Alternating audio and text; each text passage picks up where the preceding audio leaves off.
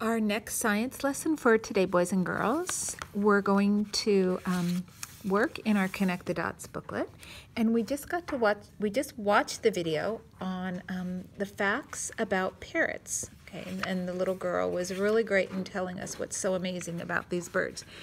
Um, on this page, you'll notice we're sequencing, and sequencing is a fancy word to say we're going to go in order. So starting at 1, then going to 2. We're going to sequence the numbers from 1 to 23. So 1, 2, 3, 4, 5, 6, 7, 8, 9, 10, 11, 12, 13, 14, 15, 16, 17, 18, 19, 20, 21, 22, 23.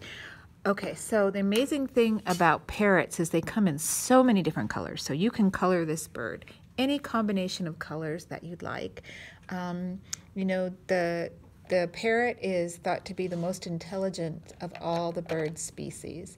And um, there are actually 372 different species of parrots. So imagine how many different species there are of birds, of just of parrots, there's over 300, almost 400 you know, species. So that's, you know, think about all the other types of birds that there are. Um, also, they can imitate human vo voices. Not all of them, but some of them can, and it's kind of fun when they do that. It's very entertaining. Um, they um, showed the babies, and the babies kind of don't look like much. They're not very pretty. They're kind of born without feathers. Their eyes are closed. Um, and then also, um, that I think the most remarkable thing about parrots, this is finally what I was trying to get to tell you, is they live for more than 80 years. So they live for a very, very long time. Um, and, um, you know, maybe even as long or maybe even longer than people sometimes. So, um, Go ahead and finish coloring your parrot. Give yourself an exit ticket at the top.